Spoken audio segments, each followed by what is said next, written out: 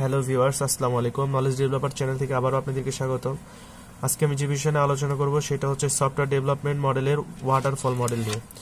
তো software development মডেলের মধ্যে কিছু কিছু পার্ট রয়েছে। যেমন হচ্ছে একটা waterfall model evolutionary model incremental model spiral model unified model তো, এই মডেলগুলোর মধ্যে আজকে আমরা শিখব কি ওয়াটারফল মডেল নিয়ে। তো ওয়াটারফল মডেলের মধ্যে ওয়াটারফল মডেল বলতে আমরা বুঝি যে একটা কোনো একটা কোম্পানি যদি আমাদেরকে কোনো একটা সফটওয়্যার বানাইতে বলে, তো সেই সফটওয়্যার বানাইতে গেলে কিছু কিছু কয়েকটা ধাপ, ধাপে ধাপে এটা ইমপ্লিমেন্ট করতে হবে। যেমন সফটওয়্যার বানাইতে গেলে ফার্স্টে রিকোয়ারমেন্ট অ্যানালাইসিস কিছু কিছু রিকোয়ারমেন্ট তারা দিবে, সেইগুলো অ্যানালাইস করতে হবে। তারপর হচ্ছে সিস্টেম ডিজাইন সেখান থেকে আমরা সিস্টেম ডিজাইনে আসব। এভাবে ধাপে ধাপে কয়েকটা প্রসেস পার করে এসে আমাদের একটা সর্বশেষ আমরা কি হব? সাকসেস হব।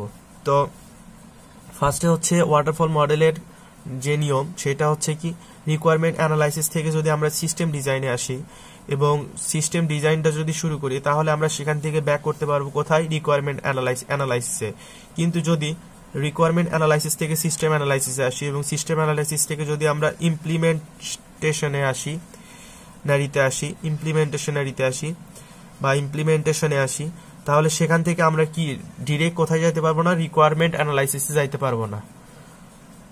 তো আমরা এটা এটা বলতে পারি একটা স্পেশালিটি এর যে আমরা রিকোয়ারমেন্ট থেকে কোথায় যেতে পারব না ডিরেক্ট ইমপ্লিমেন্টেশনে যেতে পারব না বা রিকোয়ারমেন্ট থেকে যদি আমরা সিস্টেমে আসি, সেখান থেকে আমরা কি ইমপ্লিমেন্টেশনে আসলাম এবং ইমপ্লিমেন্ট থেকে আমরা কোথায় যেতে পারব না ডিরেক্টলি যেতে পারব না কোথায় রিকোয়ারমেন্টে তো এটা কি ধাপে ধাপে আমাদেরকে স্টেপগুলো পার করতে হবে এবং সেই স্টেপ অনুযায়ী আমাদেরকে কাজ করতে হবে।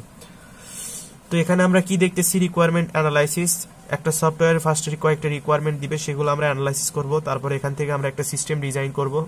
সিস্টেম ডিজাইন করার পরে সেগুলোকে আমরা ইমপ্লিমেন্টেশন করব। ইমপ্লিমেন্টেশন হওয়ার পর সেইগুলোকে আমরা টেস্টিং করব।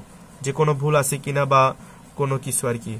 তারপরে আমরা একটা ডেভেলপমেন্ট করব, তারপর মেইনটেনেন্স করব। তো এটা হয়ে গেল। এটার পরে আমরা কি দেখতেছি, এই কোশ্চিনটা কীরকম থাকতে পারে? তো ওয়াটারফল মডেলের কোশ্চিন থাকতে পারে যেমন হোয়েন ওয়াটারফল ইউজ তো ওয়াটারফল ইউজ বলতে এখানে আমরা বুঝাইছি যে কোথায় ওয়াটারফল ইউজ হইতে পারে। যেমন একটা সফটওয়্যারে আমি যে ফার্স্টে যে এক্সাম্পল দিচ্ছি ওইটাই, যে একটা কোনো একটা সফটওয়্যার কোম্পানি যদি আমাদেরকে কোনো সফটওয়্যার বানাইতে বলে, তাহলে আমাদের এই মডেল ইউজ করে আমরা কয়েকটি ধাপে এই সফটওয়্যারটা কমপ্লিট করতে পারব আর কি। তো what is special speciality of waterfall model তো স্পেশালিটি বলতে আমরা এখানে বুঝাচ্ছি যে স্পেশালিটি বলতে আমরা এই যে ধাপে ধাপে যে কাজটা করলাম ফার্স্ট থেকে আমরা রিকোয়ারমেন্ট রিকোয়ারমেন্ট অ্যানালাইসিস থেকে আমরা কি সিস্টেম ডিজাইনে আসলাম। সিস্টেম ডিজাইন থেকে ইমপ্লিমেন্টেশন আসলাম।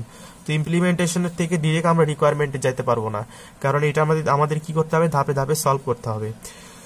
তো এই, এইটাই আর কি এর স্পেশালিটি প্রবলেম তো আমরা যদি প্রবলেম দেখি, তাহলে প্রবলেম এখানে কি বলতে পারি? যে it is costly and time consuming sorry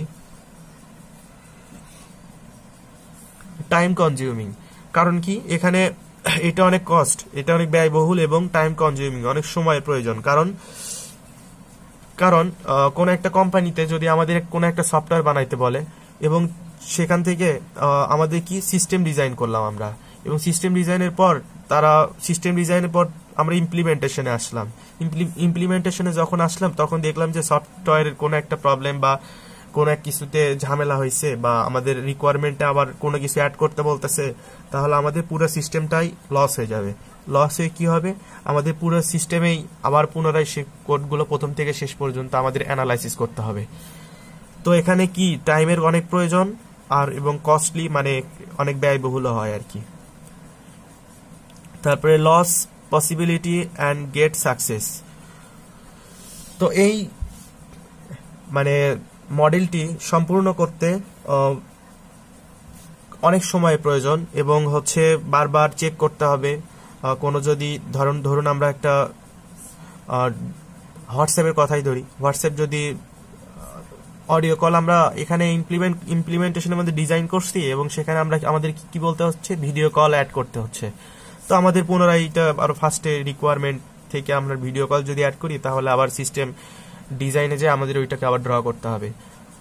তো এটা অবজারভেশন বলতে আমরা বুঝাচ্ছি যে প্রসেস এই প্রসেসটা ফার্স্ট স্টেপ থেকে সেকেন্ড স্টেপে আসার পরে, যেমন আমরা রিকোয়ারমেন্ট অ্যানালাইসিস থেকে আমরা যদি সিস্টেম ডিজাইনে আসি, এবং সেখান থেকে কি আমাদের ইটারেটিভ মেথডের মাধ্যমে আমাদের কি আবার রিকোয়ারমেন্ট অ্যানালাইসিসে ব্যাক করতে পারব। তো এটাই বুঝাইছে আর কি। তো এই ছিল আমাদের আজকের ভিডিও। ইনশাল্লাহ আগামীতে আবার দেখা হবে। যারা যারা আমার চ্যানেলে সাবস্ক্রাইব করেন নাই, তারা তারা সাবস্ক্রাইব করুন এবং পাশেই থাকুন। ধন্যবাদ। আল্লাহ হাফিজ। আসসালামু আলাইকুম।